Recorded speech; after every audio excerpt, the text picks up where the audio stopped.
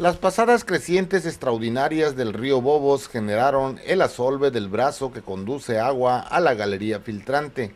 La Comisión de Agua del Estado de Veracruz realiza trabajos de desasolve del afluente para que se pueda normalizar el suministro del vital líquido a los usuarios.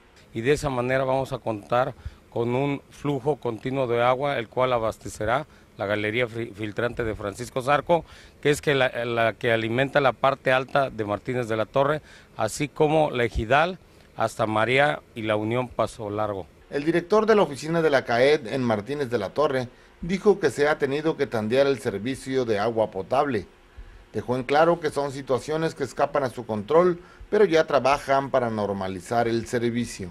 Hay eventos naturales que, que rebasan lo que queremos prevenir. Sin embargo, con agua y CAEB trabajan, se coordinan para que con agua nos dé el permiso y CAEB eh, técnicamente proceda a desasolvar el río. Explicó que la galería filtrante genera el agua para surtir a las colonias de la parte alta de la ciudad, pero también al área de la colonia Gidal y a las comunidades rurales que conducen de Martínez de la Torre hasta la Unión Paso Largo.